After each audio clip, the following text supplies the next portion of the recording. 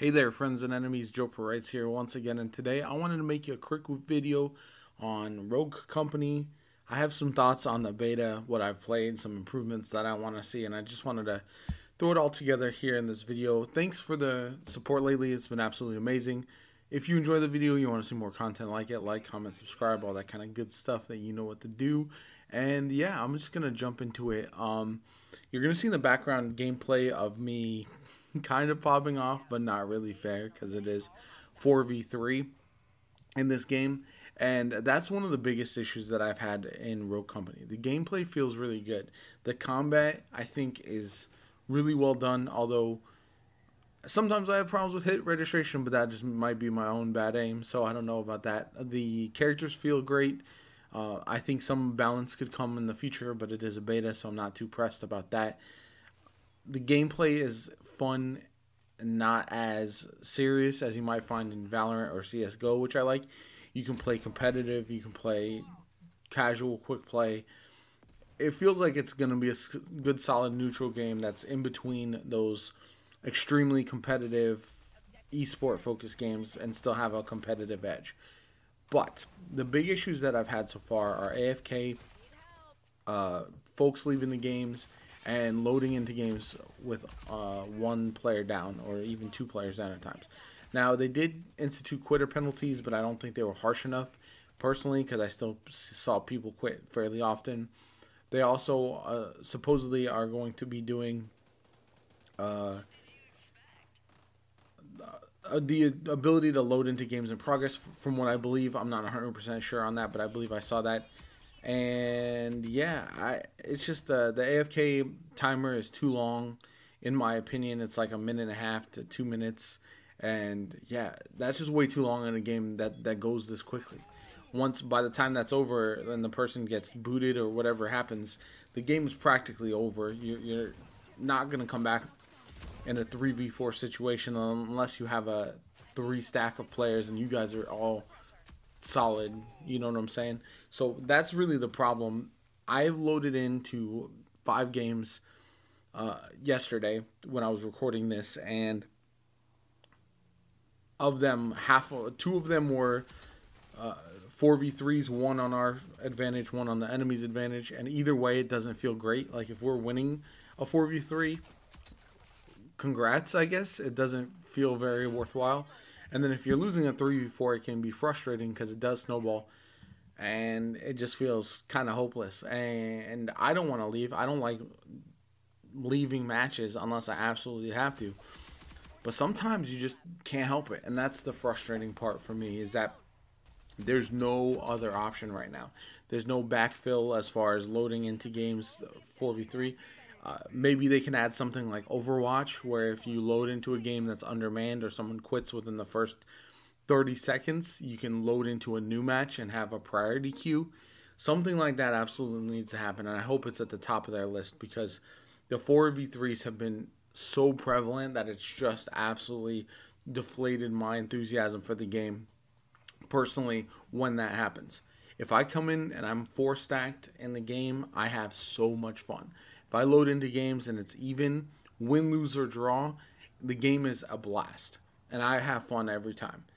But I cannot tell you when half of my games or close to it are undermanned or AFK players in it or somebody leaving shortly after it starts, it just completely deflates my sails with it. So that's what is kind of holding me back a little bit on Rogue Company. I have done all the Meet the Rogues series. I've enjoyed testing out all the new characters that I unlock and can play as and try different things. So I'm still going to keep doing that, and I'm hopeful in the future that they are able to fix these things because that's going to be the biggest detriment to their game if they don't find a way to correct that pretty quickly. Because I have friends who I know who have played who stopped playing because of that.